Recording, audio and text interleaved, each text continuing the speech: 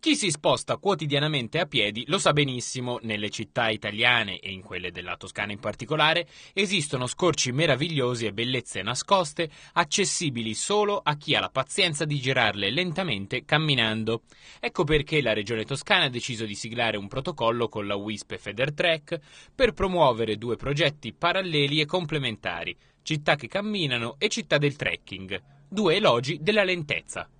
Eh, perché non riproporre anche in città il piacere del camminare, il piacere del camminare che fa salute, che consente di vivere l'ambiente in modo diverso, che può anche produrre occasioni di incontro magari, forse si parla meglio passeggiando che non eh, viaggiando velocemente, con, velocemente per modo di dire, o comunque stando rinchiusi nell'involucro di, di un'auto. WISP Toscana e Federtrack metteranno a disposizione delle amministrazioni locali le loro competenze per disegnare i percorsi pedonali e ciclabili più adatti, attraverso cui restituire l'immagine migliore delle città interessate. I percorsi di trekking saranno quelli dedicati in particolare a promuovere l'unica mobilità autenticamente sostenibile, il camminare, mentre per quanto riguarda il progetto delle città che camminano, sponsorizzato da WISP, è già stato sperimentato a Pisa con ottimi risultati nella promozione di uno stile di vita attivo e salutare.